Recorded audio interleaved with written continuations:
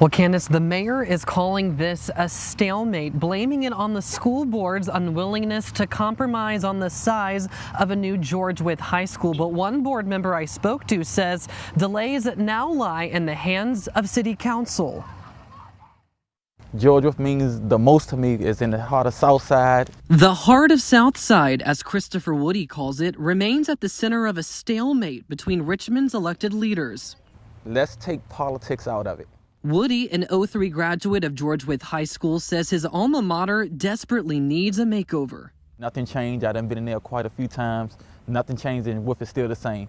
But plans to build a new Wythe not making any progress. The latest setback on a long list of many, City Council failed to pass a measure Monday night that would transfer more than $7 million to the school board. It's really just a matter of moving it from one bucket into another. The school board's vice chair, Kenya Gibson, says the board has been asking for that money, which is allocated to school construction, for several months so they can get started on designing a new Wythe.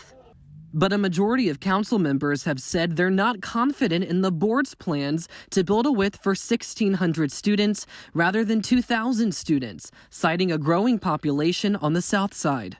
The delay is, on, is in the hands of City Council. They're the ones who have held up this um, you know, this transfer of funds. Then, so the question is why?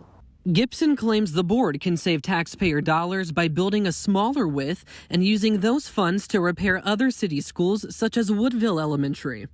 She alleges the city's continued delay of transferring the funds is greedy and not supportive of democratically governed schools. That's extremist talk. That's extremist talk. Mayor LeVar Stoney denounces Gibson's statements, saying, Ain't got time for it. Is it extremist on the school board's part? No.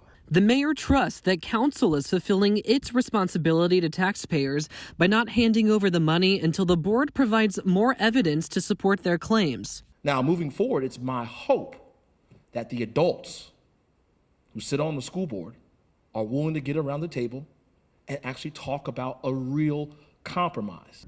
I asked the mayor, will council continue to delay transferring the money until the school board meets its compromise of a Wythe that fits 1,800 students? I'm optimistic that the dollars will one day land in the account so we can get this process going. And just moments ago, a reimagined George Wythe High School just wrapped up here where students and parents got to weigh in on the new curriculum of their new school. Many of them saying they want more arts classes like music and dance. Maggie Marshall was also here. She'll have a report for you coming up tonight at 11.